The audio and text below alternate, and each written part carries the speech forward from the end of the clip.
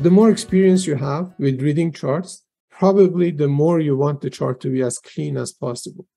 That's what happened to me. I used to have a lot of stuff on my chart. And over the years, you know, one by one, they went away. Okay, so back to what I was talking about. You want a swing to start in a good way. A good way means, see if I can find a perfect one. They're so rare, actually. Usually it doesn't start like that. But when they start in a very good way, strong, and then it has some characteristics. So you don't want to really get pushed by the market. That's a very important sign. So let's say we have, you know, we have a wedge and then we have a signal bar and we are expecting more in this direction. How do we want this to start? Well, we want, first of all, we want good context.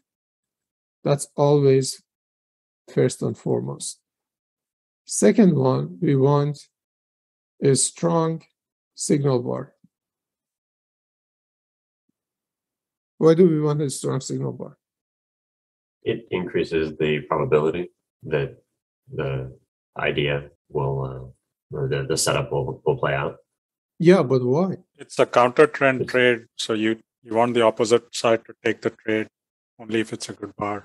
Uh, yeah, but more importantly, you also want all the stop order traders to say, aha, this is this is the place I'm starting to buy. So you want the bears to see that, as you said, Rajesh, that okay, this looks like it's not going down anymore, so we're going to get out. And you also want like a flag raised to everybody else who is half asleep at their computers that hey, this is changing direction, wake up and start trading. So that good signal bar alerts both sides that something new is going to happen. Therefore, it's important. Then you want the bar. So this strong signal bar has like several line items itself. You don't want big risk. So no big risk. And why is that?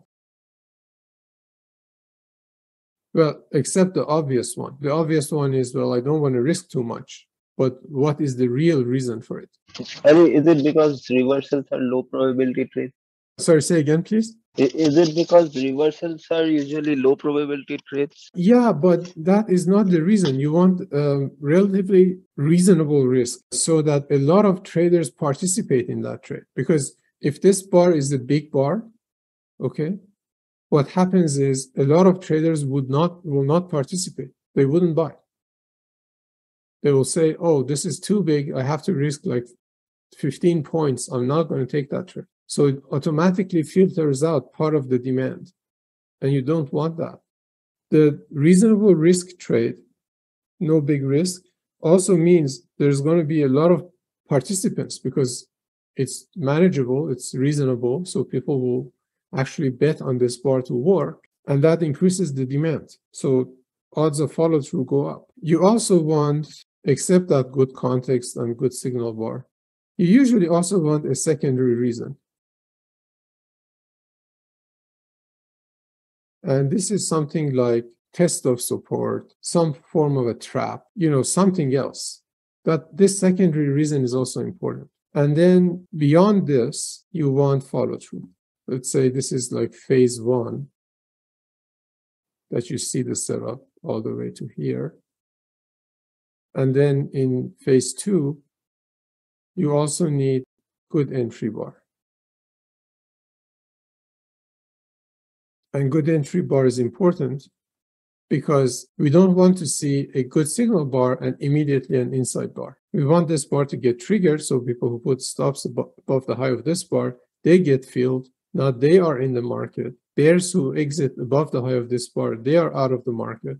So that good entry bar is meaningful information. And at this point, when you have your entry bar, then we can say at this point there is a higher probability for a swing. So swing becomes high probability after two bars, signal bar and, and good entry bar. Now, if you are a mostly limit order trader like like I, then we are interested in the first pullback. Oh, and there's one more thing. Sorry. So so that one more step is, so there's a six here. You want the always in direction to flip. And then this first pullback is very, very high probability. So this is equal to saying what happened after this bar was we got our entry bar.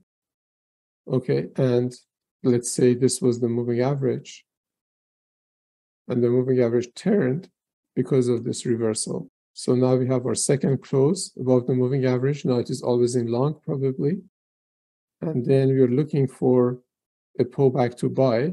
And then all the algorithms for buying in the pullbacks starts to trigger. One of them is look for a bad sell signal bar, like a doji something, and wait for this to get triggered. So you put a limit order down below, expecting the next bar to produce this tail and immediately reversal. That's one entry after after the market flips to always in long. Obviously, the other ones are like high one and high two buys, which we are going to talk about them. There are a lot of details based on my experience teaching them. Most people don't know. But this is the process. So you need a graceful reversal that has all of these components good context, strong signal bar, not forcing you to take big risks. Oh, um, let's say there is one more thing here, just to save time. I'm going to squeeze it here. So this is going to be seven. There is a six here. Non climactic move. Right? So you want this move up. This shouldn't be a climax. Because if it is a climax, then a lot of the people who bought down, down there, they're always limit order buyers. Especially if you have that game on setup. Let's say the game on happened here, there was a tail here, and this tail overlapped it. So now you have game on. Game on means, hey, limit order buyers, come in, start buying. So they start buying here. And their expectation is that the market will go back and close this distance. It will go at least above that this swing point. All right. So if this move is climactic and it quickly reaches there, they're going to take their profits. So you don't want that. You want you want a non-climactic move. So you see these things. You see control over price and over time. But not just price only, because if it is a climax, this only leads to a climax. But if it is both control over price and over time, then this leads to a trend. This one leads to trading range usually, if it is climactic, right? So this process is important in, in these six or seven steps.